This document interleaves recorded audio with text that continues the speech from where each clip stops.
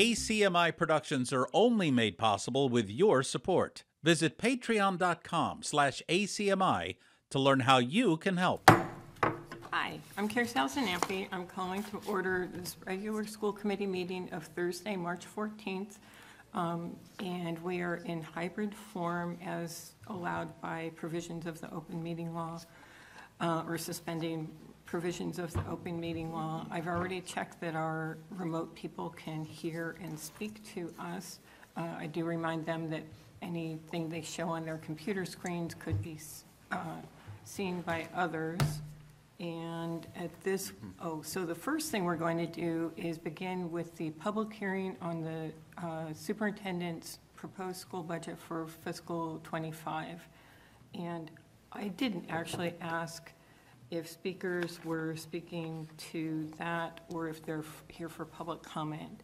So, Ms. Troha, were you here for the public hearing, budget hearing or for public comment? Public comment. Okay, okay, so is anyone here for, to speak to the um, proposed budget for fiscal 13, uh, fiscal 25? Sorry, yeah, yeah, I kind of flipped. Um, Okay, seeing none, I uh, call the hearing, t- so the hearing is something that we're required to do by law.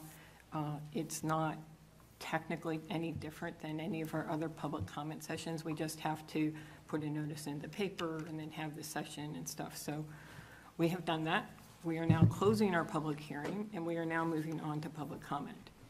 So before I begin with public comment, I'd like to review certain sections of our policy BEDH, which during public comment session of regular school meetings, individuals or group representatives may address the committee on items of school business. The length of public participation shall normally be no more than 20 minutes, but may be extended by the chair. Speakers must identify themselves by name and address and will be allowed up to three minutes to present their material. The chairperson may reduce speaking time if needed and/or may permit extension of this time limit. Improper context and remarks, including the use of obscenity or abusive language, will not be allowed. Defamatory or abusive remarks are always out of order. If a speaker persists in improper conduct or remarks, the chairperson may terminate that individual's privilege of address. All remarks will be addressed through the chairperson of the meeting. Speakers may offer such objective criticisms of school operations and programs as concern them, but in public session, the committee will not hear personal complaints about school personnel nor against any member of the school community, except for the school committee or the superintendent in their capacity as the operational leader of the Arlington Public Schools. Under most circumstances, administrative channels are the proper means for disposition of legitimate complaints involving staff members. The public is reminded that the school committee does not hold jurisdiction over the performance of school personnel other than the superintendent. And I'd also like to note that we don't respond to public comment. We just hear it and we think about it. Um, So, uh, so we have four people. Uh, First is Ms. Troha, who is remote. Uh, Ms. Troha, you have four, three minutes. Hi, uh, my name is Amanda Troha. I live at 6 Marathon Street in Arlington. I'm an Arlington resident and soon to have a kindergartner at Thompson Elementary School. Thank you for having me, school board, and uh, Dr. Homan and everyone else who is here today. Um, I am just here to comment that I think that all of our elementary schools need to have full-time librarians. Um, currently, three of the schools have full-time librarians, and four of the schools are at a di- disadvantage by having to split their librarians um, including Thompson, which is the biggest elementary school and currently has the lowest MCAS scores. And studies have shown that students have the higher test scores in reading and writing when schools have certified full time librarians. Um, these studies have also shown that economically disadvantaged Black, Hispanic, and students with disabilities are even more. Um, helped by having these certified librarians and that this is a really critical time in our history where people need to understand media literacy and understand um, really gain the benefit of having these certified librarians. Um, these are the only classes at those schools that are taught by paras in our elementary school on a regular basis and that we need to have certified teachers in all of our classes for all of our elementary schools. And I just want to put my um, just say that I think it's really important and that I hope that we can have that happen in the near future at all the Arlington public schools. Great, thank you very much. Um, Next is Ms. Kelleher.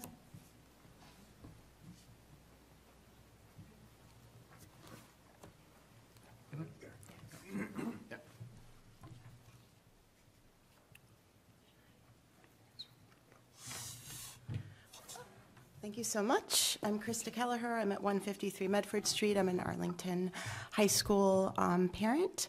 I'm very concerned about the current Arlington High School attendance policy. The existing policy is unreasonable and punitive. It may have unintended effects on students, including negatively affecting their motivation, physical or mental health, and capacity to engage in opportunities that support their personal, educational, and career development. Further, I am concerned about the resources and time it might take to implement this policy, particularly in the case of efforts to avoid implementing an FA, which is a failure due to attendance. Finally, I'm troubled by the potential of inequities in both the policy, policy itself and the process of working to avoid an FA implementation. I'm especially concerned about students with disabilities, students who may not be able to easily access healthcare um, or medical documentation, students for whom religious observa- observ- observances um, for non-major religious holidays require missed classes, and students without par- caregivers or parents who have the time and resources to correct an FA situation. My greatest concern about the policy is what counts as unexcused. First, health related absences without medical documentation. These absences may disadvantage students with chronic or persistent health conditions or those without easy access to healthcare providers. Two, performing arts activities such as field trips, school sponsored travel, and rehearsals or performances at another Arlington public school. Unlike some school sponsored athletic obligations that are excused, it seems that many performing arts opportunities, some of which require earning a spot to participate, are not excused. For example, the upcoming um, Carnegie, Carnegie Hall um, Festival, a school sponsored trip will mean that participating students will be penalized for classes missed over the course of two days. And finally, college visits. Leaving students without an opportunity to visit schools in session during the weekday may be a problem unless students can ensure that such visits will not adversely affect their attendance status. I'm also concerned about the penalties for unexcused absences, including both the loss of um, credit and grade.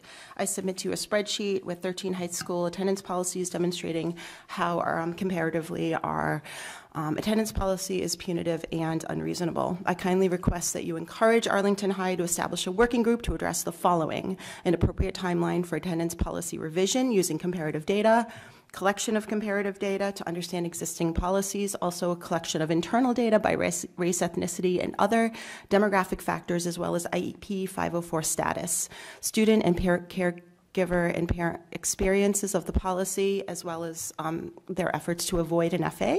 And finally, analysis of policy implementation by school administrators, teachers, and staff, including the percentage of implemented FAs and FAs avoided with discretionary decisions by student demographics. Also, resources and time required to minimize FA implementation across the student population. Um, many thanks for your consideration of this request, and I really appreciate your leadership um, on behalf of the students and the community here. Thank you.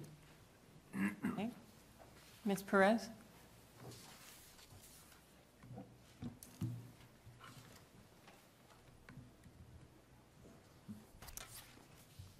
Good evening. My name is Eliza Perez on Oakland Avenue. Tonight, I want to tell you about how CO2, or carbon dioxide, relates to the increases in sickness and absences from schools. CO2 gas makes up the majority of the air we breathe out. The more people there are in an indoor space, the higher the CO2 levels get, and they will stay high in a room until a window opens or a vent sucks it out. CO2 levels are a good proxy for chance of sickness because they tell us how much of the air we breathe in has already been breathed out by others. Levels measuring over 800 ppm negatively impact cognition and make you sleepy. Keeping CO2 levels low with fresh air keeps our kids sharp, and they'll be breathing in fewer germs, which means lower absence rates, fewer substitutes, and better cognition and higher test scores. This is all well proven, well established science. So here's the problem we have a ventilation problem in our schools. There have been multiple indoor air quality studies performed recently at APS. In 2019, an independent firm performed a thorough air quality assessment at Ottoson and found that three quarters of the classroom had CO2 levels nearly three times higher than acceptable levels, some well over 2,000 ppm. No wonder so many kids are sick repeatedly. Absence rates have more than doubled in Arlington since 2018, and it doesn't take a rocket scientist to know that illness is a massive contributor. As families, we are doing our very best to address the decre- to decrease illness and resulting absences, but we cannot control how clean or dirty the air in our kids' classrooms is. That's, that job is yours as district leaders. Any remediation that was done since 2019 is not enough because CO2 measurements submitted by parents across town show continued high levels of CO2 classrooms, including one room reaching nearly 3,000 ppm back in October. So, on behalf of both families and teachers who are tired of being sick all the time, we need you to do two things to help meet the big goal of improving health and education. Number one, establish an indoor air quality team with members of facilities, admin, teachers, parents, students to identify concerns and find solutions using industry standards for every school, every classroom to ensure health equity. And number two, use the remaining ESSER funding earmarked for building upgrades, plus the chronic absenteeism DESE funding to upgrade the air handling systems. And once you do this, mountains of research shows that absenteeism will decrease, risk of disability from Ill- illness will decrease, test scores will increase, and it will do that far more effectively than threatening, sending threatening letters to families of absent sick children Making indoor air quality a priority in this district is about setting a positive culture by sending a clear message to the APS community that you are committed to removing learning barriers and optimizing staff and student potential by protecting their bodies and their minds. We cleaned the water we drink, and now it's past time that we clean the air. Assemble an air quality team and use your Rescue Act and DESE funding to fix the serious problems that are making our kids and teachers constantly sick. Thank you. Thank you. Um, Ms. Torres?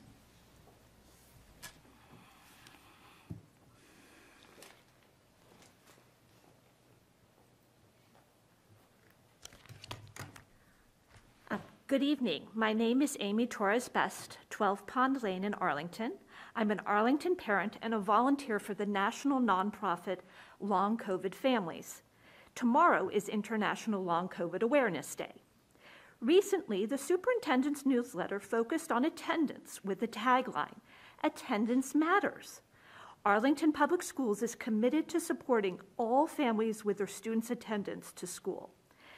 Families and school collaboration can boost students' attendance significantly. End quote. The March issue of the journal Pediatrics published a review of research that estimated 5.8 million children in the United States have been impacted by long COVID. This translates to 10 to 20 percent of children in our country. The nature of illnesses like long COVID are symptoms that ebb and flow and are often unpredictable.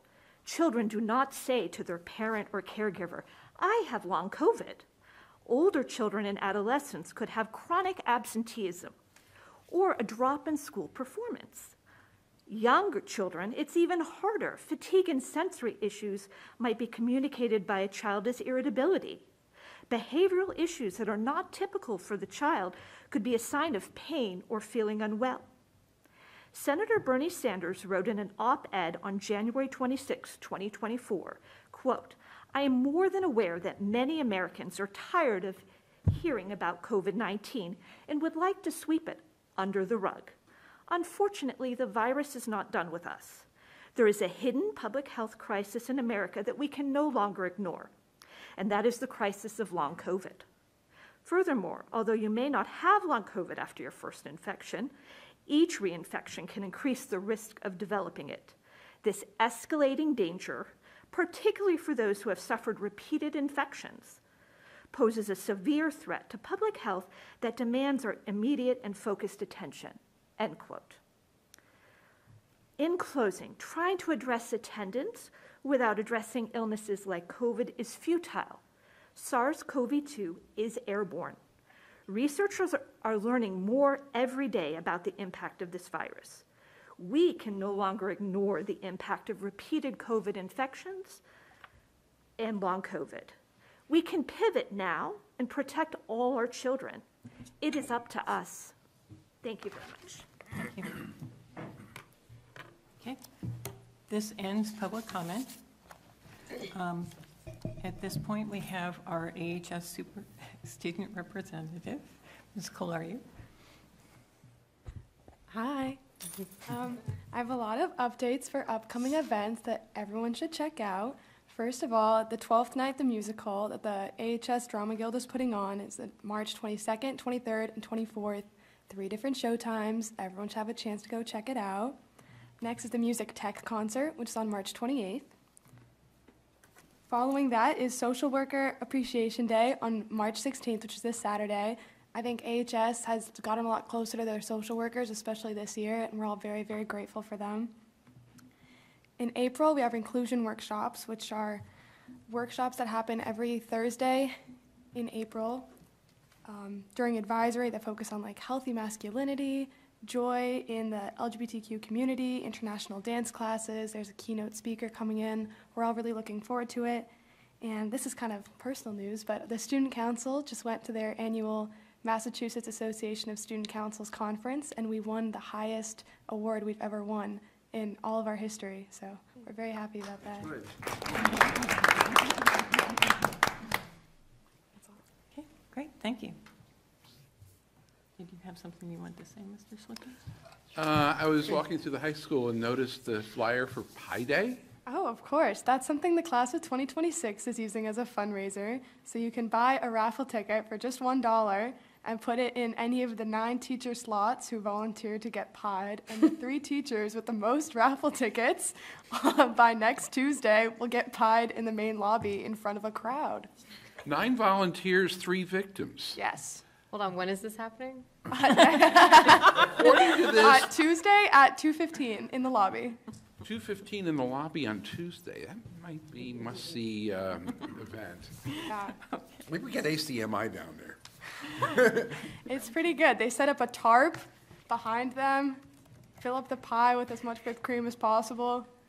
I want to thank the teachers profoundly for volunteering to do this. I think what you're hearing is Mr. Schlichtman would like to volunteer. I- I'm pretty sure of I, that. I, I wouldn't make any money at Last this. year, They last know year, who I am. Someone volunteered to get pied twice. Hmm. Oh, It's fantastic. well, once is, I mean, once you're pied, it is second time, I don't think really matters. You don't really feel it anymore, yeah. Oh. Okay. Oh, wonderful. So, Thank you. moving on, we have the discussion of the fiscal 2025 superintendent's proposed budget, which does include a pie chart. It does. There is pie a pie- I have a pie chart. All right, I have a few updates from the previous presentation from our last meeting. Um, and I'll move through these somewhat quickly. You have a revised budget document in your materials for this evening um, that I'm happy to answer questions about. I updated a few of the charts because we identified a few errors in the data that we had brought over um, on our demographics. So I just wanted to note that we corrected some data in 2023. We are still in a position where our focal groups are steadily increasing across APS, and our high needs uh, population is increasing across APS over the past several years. Um, I've revised some language in the budget book surrounding um, Chapter 70 to be very clear that uh, Chapter 70 funding is received by the town. It contributes to the town's contribution to the APS uh, budget. It has always been the case that um, the town uses that as one of many revenue streams, including um, property taxes, to contribute to what they allocate to the schools uh, using the funding formula that comes from the long-range plan. So I adjusted some language in the budget book to reflect um, some of that feedback, as well as this graph, which makes it clear that the combination of the town revenue and property taxes plus Chapter 70 contributes to the town's contribution, and the other funding sources are on top of that. Um, Here's our pie chart. It's, it's the same as the last pie chart that I showed you.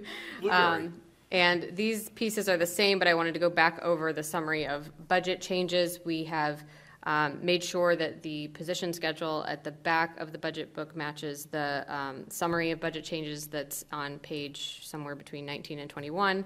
um, of the book, and the efficiencies also account for some corrections to some of our data in position control, and we've um, clarified some of the additions and included all of the additions that came after budget in FY24 um, in what is in the both the position table and in the summary table. So I'll go through those here quickly. Um, FY25 budget efficiencies, these are positions that were filled in FY24, will not be filled in FY25. Include some classroom teacher positions because of decreasing enrollment.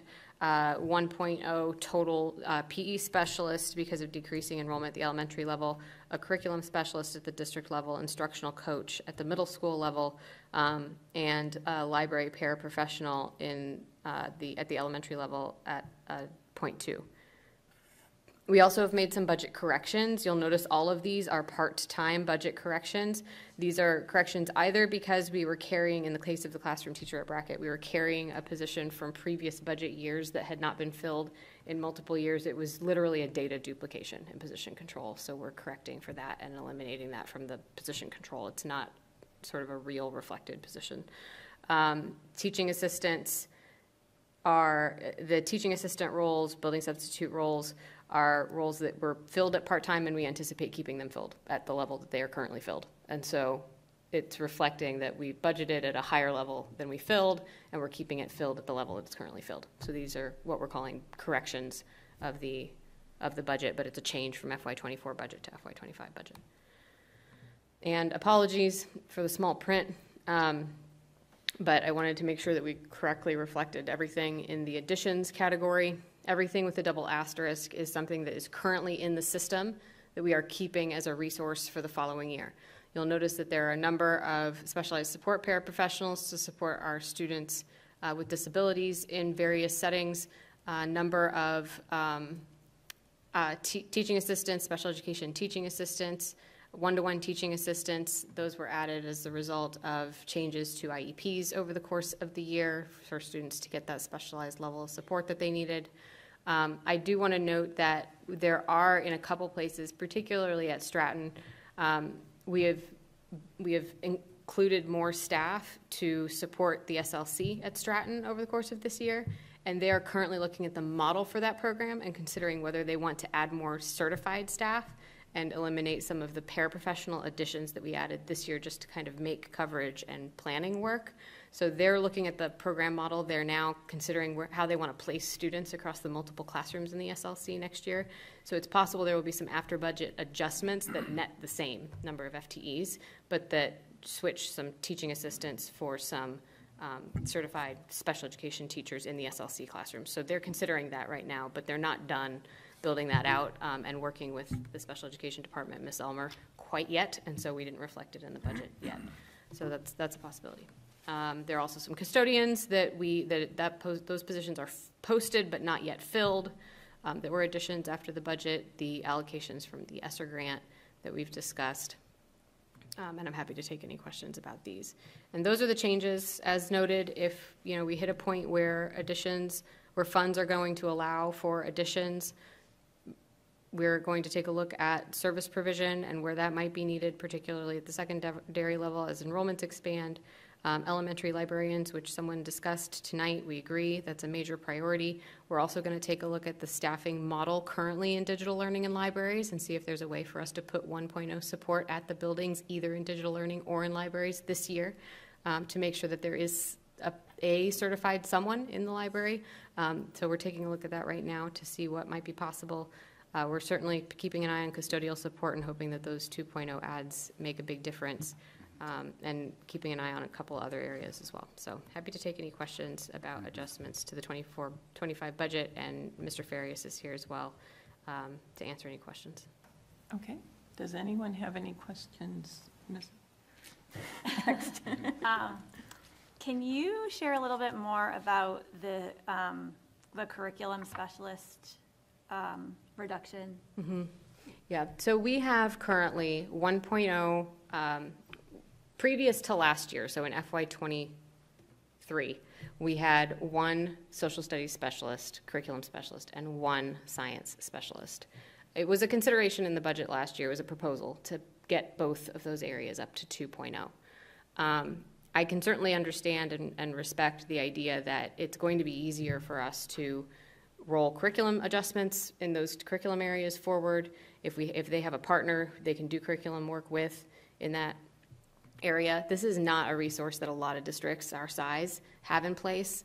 Um, and getting us to a place where we're sustaining 2.0 curriculum specialists in, in both of those subject areas, I'm concerned about the sustainability of a model like that. I do think it is important for those two curricular areas to have additional curricular support from an expert in the elementary level standards for that area. Um, I think them working directly with a K 12 director on adjustments to curriculum in that area is very important. But if we're thinking about where we need to focus our attention for next year, it is on the rollout of EL. And if we're looking for additional support, it's on professional development to support the rollout for EL. Um, and it may, we may reach a point where we're looking at our resources and thinking about how we integrate these curriculum areas and make sure that the kids can see connections across them at some point in the future. But for right now, we tried it for a year, having two. Um, if we're thinking about impact on student learning, I think there are other areas where we can have pretty significant impact. And we've had a lot of student needs come up that have needed additional staffing as well, and that's reflected in the budget this year. You can see it, and we want to make sure we keep that there. So, in considering where we could make adjustments, that was one of the areas we could make adjustments. So are there currently, so in this, so in FY '24, there are two science specialists? There's two social studies. There's not two only science. one science. Only one So science. They will take it still, back they will both be at one. one. Mhm. Okay. Um, Thank you. And then the other um, thing is more of a comment, and I think it's mostly for the public, but I just, I think a lot about how um, our goal is to increase diversity in our staff. And then I look at, um, you know, reducing the staff by four classroom teachers. And it's sort of a hard truth that we're, that's something we've been working on recently, so I'm imagining that some of these people, um, these positions that are being let go are potentially staff that we were looking to um, have and keep to diversify our staff, and unfortunately, just based on enrollment, um, we can't do that, and so I hope that we can, I ju- I think it's important for the community to understand that it is something that the district is working on, and the way that the schools work um, when there are decreases in enrollment and we need to reduce staffing. Um, Those who are hired most recently are those that um, are let go Yeah. first. I did send a message to staff about the budget not too long ago, and one of the key messages there that I um, want to just highlight is we really hope everyone who wants to stay in Arlington can stay in Arlington. We know there's always turnover. This is not so many positions that we can't hope that everyone who wants to stay will be able to stay. Um, But yes, it is the nature of our contracts and system that those are the folks most vulnerable to losing a role. So. Thanks. Any more questions, comments? Mr. Flippin? So what you're saying is anybody who's receiving a notice at this point, this is sort of precautionary on our part to uphold the uh, language of the contract that we have to provide notice that there might not be a position next year, but given the parameters that we're looking at in terms of a relatively small number of staffing reductions and teaching positions at the elementary level, uh, there should be attrition uh, so that we can end up retaining folks. So at the moment, nobody's receiving a sort of reduction in force notice because of the number of, so um, NPTS, teachers who have not been with us for more than three years, don't receive a reduction in force notice. It's a, it ends up being a non-renewal. So right now, we're hoping that through attrition, we can retain some of our teachers who might be in that position. Um, And we're having the conversation with folks so that they are, can proactively plan, but we're not, and we're looking at who we might be able to transfer. So we're also looking at the involuntary transfer language that's in the contract, because it's possible we can transfer someone and then have them move back into a position that they might want to be in through attrition over the next few years. Uh, So we're- that's where we're at right now, and then, once we have a, a clear assessment of who might transfer into other positions, we can um, think about who might need to receive a notice. If we get that far, it's possible we won't have to. And just a word of uh, encouragement for younger teachers. First of all, it always pays to have multiple licenses. True. Any other questions? Ms. Gitelson, any questions? No? Okay. Um, Okay, so I just want to remind folks that we will be taking up the budget again next week to pass it. Uh, If there, if you notice any questions or, or errors or anything in between now and then, uh, send them to the superintendent, and otherwise, we're on track to do that. Okay? Uh, So next, we have the monthly finance report, Mr. Farias. Sure, so um, we, uh, attached, you'll see the quarterly financial reports as of March 13th. Um, We broke it up into three parts. Uh, The first part will be the general fund report, uh, followed by the um, revolving, and then lastly, we'll have the grant expenditures. Um, What you'll, what you'll notice is the object codes on the first couple pages, page three and four, are mostly contain salaries. Um, When you go to page four and five, it, it starts turning into contracted services, followed by uh, supplies and materials. And then lastly, some categories we, we consider other expenses, which would be some things such as um, computer equipment, um, and some facility charges like gas and oil, electricity, things of that sort. Um, Then on page nine, we, we start showing the, all all revolving accounts. Um, You'll, you'll notice that we start with athletic fees, just alphabetized, followed by Menotomy Preschool, um, and then building rentals, Pierce Field, our tuition payments, and foreign exchange, and then followed by the Bishop Bus Revolving. And then on the last couple pages, starting page twelve, is when we start uh, displaying the grants. Um, uh, Starts with Title One, and then it'll go down up to some of our special education grants, and then METCO. And you'll notice at the end, we have a, uh, ESSER three, um, but we anticipate to spend that by the end of this year. Um, if you have any questions, I, I know it's kind of fast, but if you have any questions, uh, feel free to let me know. Any questions? No, I mean, we just got it, so there may be questions, but, Yeah. um, Mhm. yeah. I think we could um, bring it up at budget when we meet next week. Or send along before then if you have any questions. Yeah, if you have any questions, feel free to email me as well, and I can try to have a, expl- some small explanation for you for the next meeting. Great, thank you. Um, Okay, and next, we have the superintendent's update. Yep, Hold on, wrong one. This one. Okay.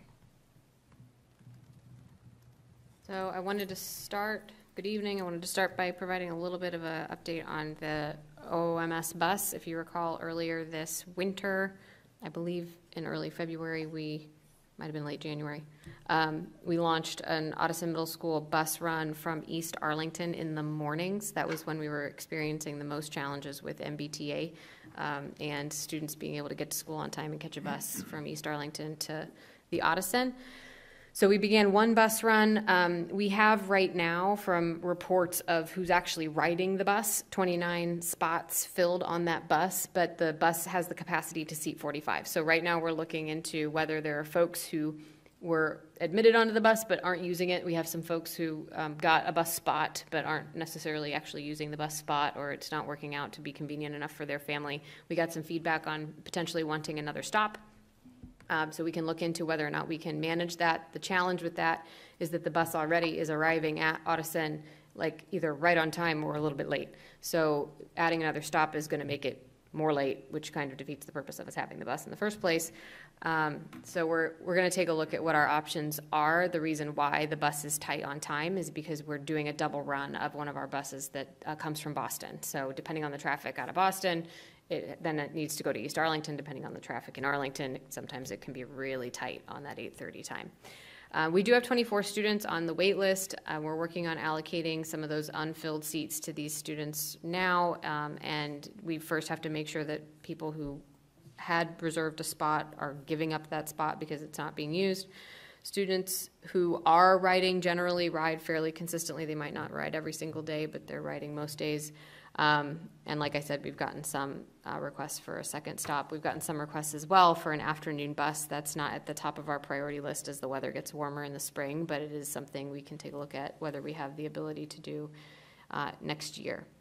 I wanted to uh, celebrate that we got a DKA for um, Sports of All Sorts grant of $10,000 um, from the, uh, it's the DK4 Foundation, the Dan Kelly Foundation, to support after-school sports programming for our multilingual learners.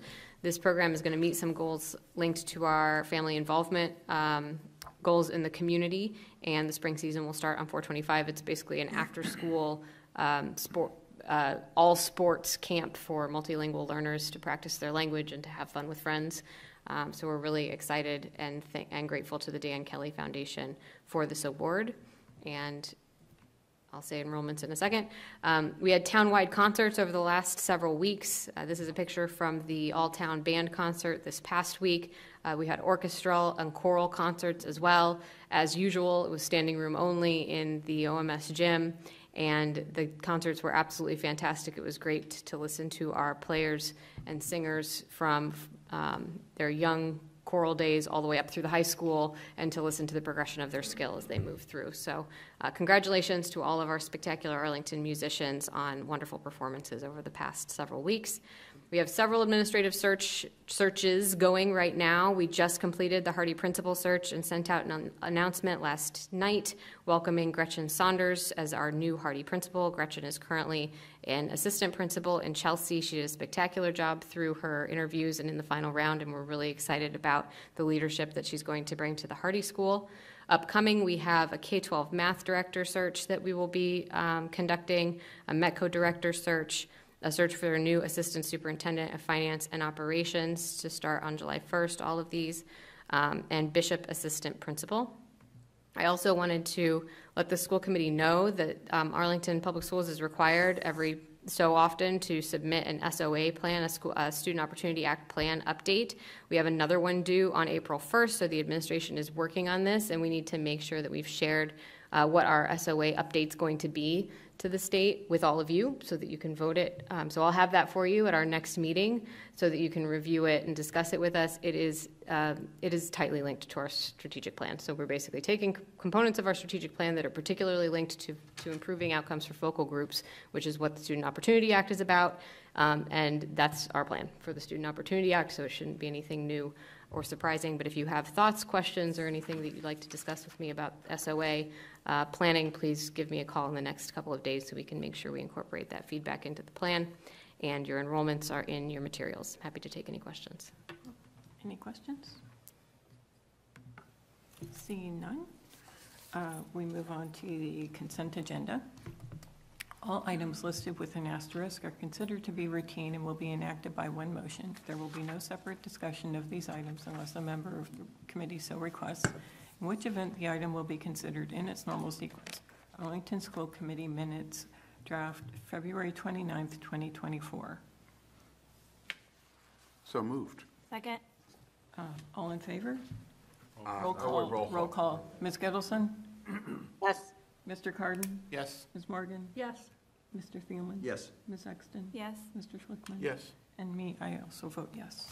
So that is unanimous. Uh, Next, we have planning for the 2020, the 24-25 school committee. And this is a chance for me to remind you that you all have to send in if you're willing or wanting to serve on any, as an officer for next year's school committee, which commences April something, early April. Um, So you can send it to me and to, um, I'm sorry. Ms. Dickens. Sorry, I am not here, apparently, all of me. Um, And, yeah, uh, so next we have subcommittee reports, uh, budget, Mr. Kardon. Uh, So we've been meeting every week or so to uh, review the the revisions to the budget. Um, We have a short meeting scheduled for Monday, um, more of a placeholder in case something came out of the hearing or our discussions tonight. Doesn't seem like anything, but we'll, uh, we'll meet and um, see if there's anything that comes up over the weekend. Uh, We have Finance Committee on the 21st, um, so. 25th. We Oh, vote on the 25th, yes, sorry. We 21st. vote, we vote the budget on the 21st, and Finance Committee is on the 25th. Um, And uh, I think that's all we've been talking about. Uh, curri- Community Relations, Ms. Sexton? Nothing to report.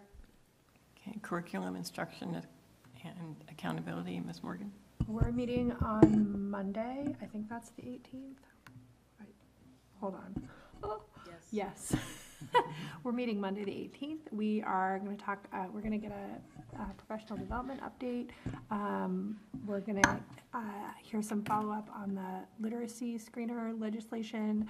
um, And we're hearing from the curriculum directors in foreign language and math. Uh, Facilities, Mr. Thielman?